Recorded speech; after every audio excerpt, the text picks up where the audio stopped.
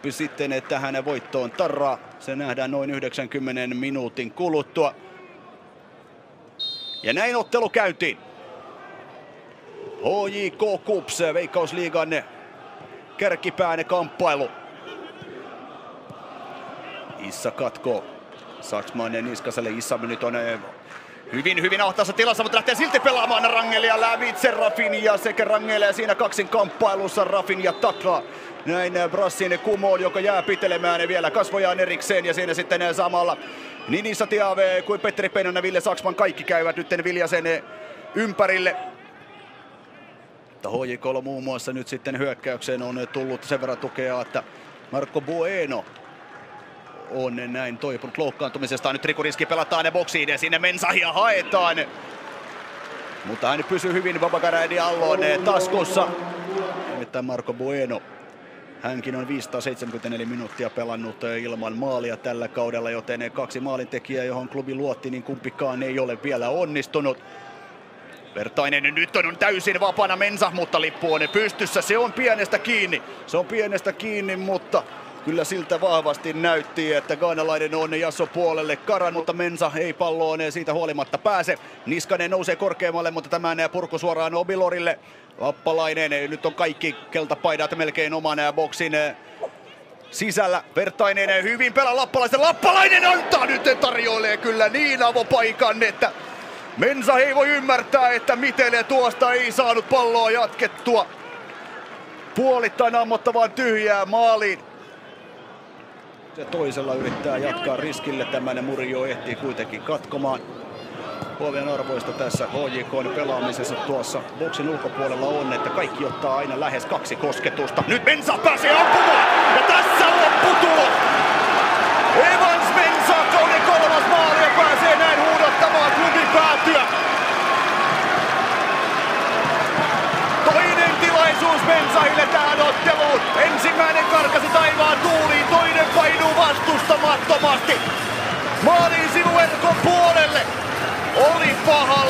laukaus Evans Mensahilta.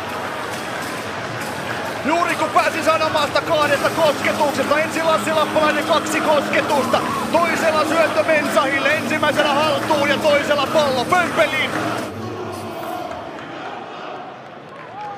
Vertainen. Dahlström, Mensa, Vertaiselle, joka ampuu, mutta nyt menee yli maalin. Nyt on alkanut HJKkin löytämään tilaa.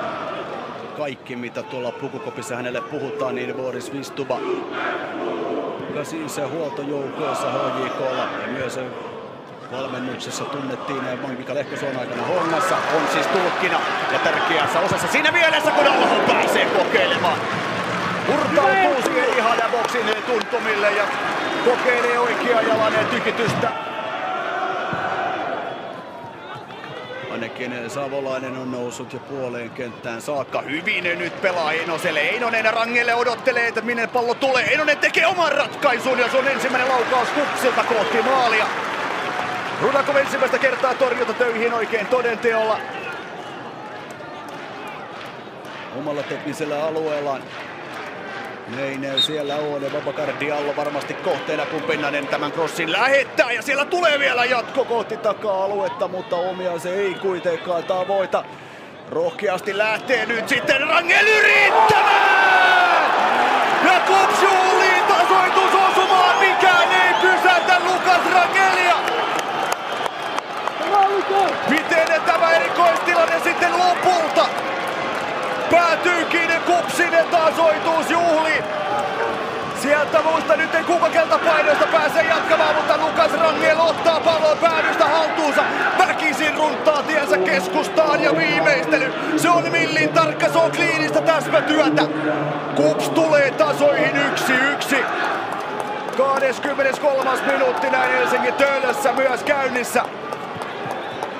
Tämä tasoittaa puntit. Kyllä molemmat joukkueet ovat kyllä ovat maalinsa tehneet.